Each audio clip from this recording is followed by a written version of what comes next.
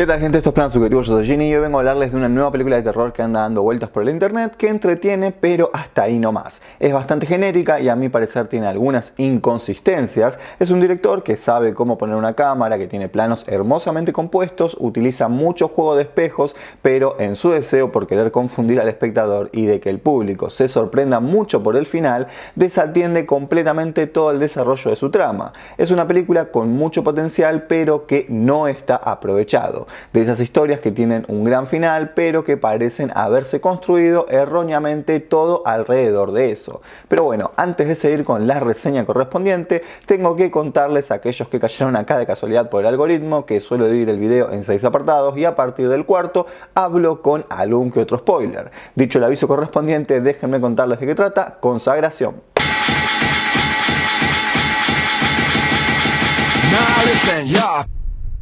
Película estadounidense de terror producida por el estudio ACG y estrenada el 3 de marzo del 2023 en la plataforma de Shudder. Está escrita por Laurie Cook y el director Christopher Smith, quien además también se encargó de la dirección de este film, conocido por haber dirigido la genial Creep en el 2004, Desmembrados en el 2006, Triangle en el 2009, Black Dead en el 2010, Get Santa en el 2014, Desvío en el 2016 y El Destierro en el año 2020.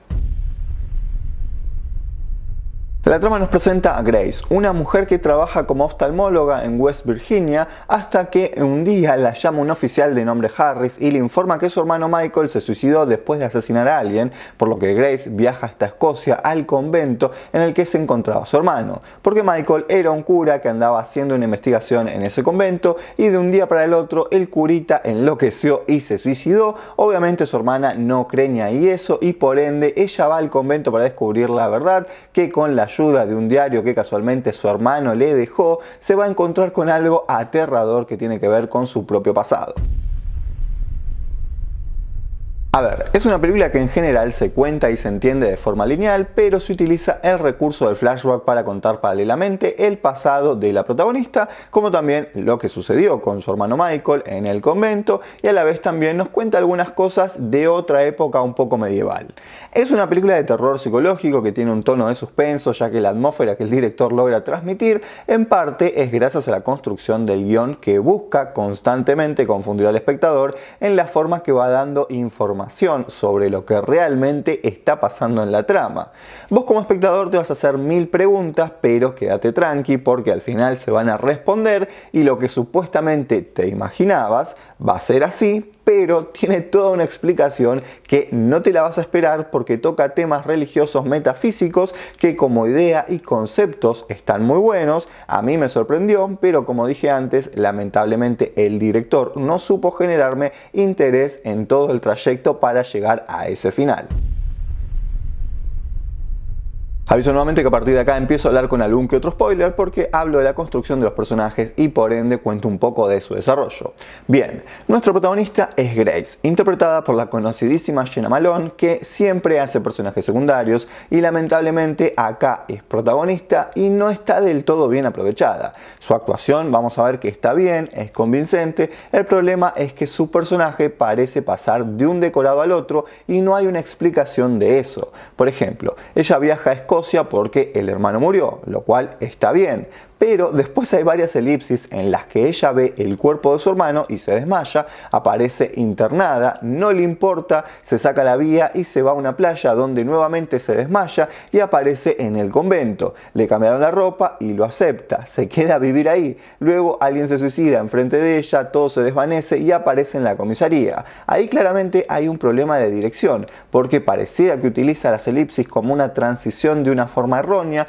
porque esto arruina el desarrollo del personaje de Grace, porque su personaje no progresa sino que acepta las situaciones en las que está. Y voy a aprovechar para explicar acá un poco el final, porque tiene que ver también con su personaje. Supuestamente Grace es la hija de un ángel caído, una niña que fue considerada una bruja porque tenía otras creencias consideradas paganas que posiblemente sea en el siglo XV o XVI, donde encierran a la niña en una especie de cripta en la que no puede envejecer ni hacerle mal a nadie. En un histórico terremoto que sucedió en el año 1993, la cripta se abrió, la niña salió y fue adoptada por la familia de Michael. Al parecer al padre murió y ella lo revivió y eso le generó en él una locura mística y por eso los mantuvo en jaulas hasta su muerte. Es decir, Grace es lo que las monjas consideran como una reliquia que debía volver a la cripta. Michael fue a ese convento para investigar, cuando las monjas y el cura se enteraron de la relación con Grace, lo torturaron para que les dé información. Esto terminó en la muerte de Michael, que sirvió para traer a Grace al convento,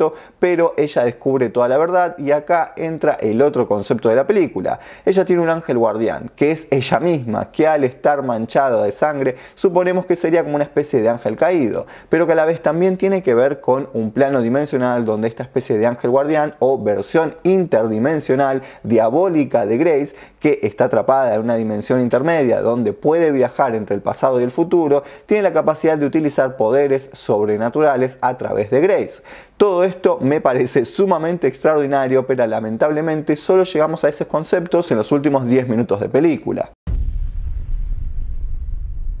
En general la película responde al género de terror y utiliza una construcción visual parecida a casi todas las películas que tienen como eje principal la iglesia. No hay mucho para resaltar, los efectos están bien, las muertes tienen un buen trabajo de puesta, pero tienen varios errores que a mí por lo menos me chocan. El hecho de que la protagonista use una vestimenta durante casi toda la película sin justificación no le encuentro mucho sentido. Sí, le robaron sus cosas, le ocultaron la ropa, pero si puede ir a visitar a su padre a la cárcel, ser detenida y manejar, puede tranquilamente buscar alguna forma de recuperar sus cosas o su ropa lo cual suma esto de que su personaje no se desarrolla, solo transita la escena, como si el personaje no tuviera decisión propia, lo cual tampoco es coherente con lo que se está contando. Y eso se refleja más que nada en el ritmo, es una película que dura 90 minutos donde lo más común sería que fuese una producción dinámica, pero no, es lenta y por momentos se siente aburrida.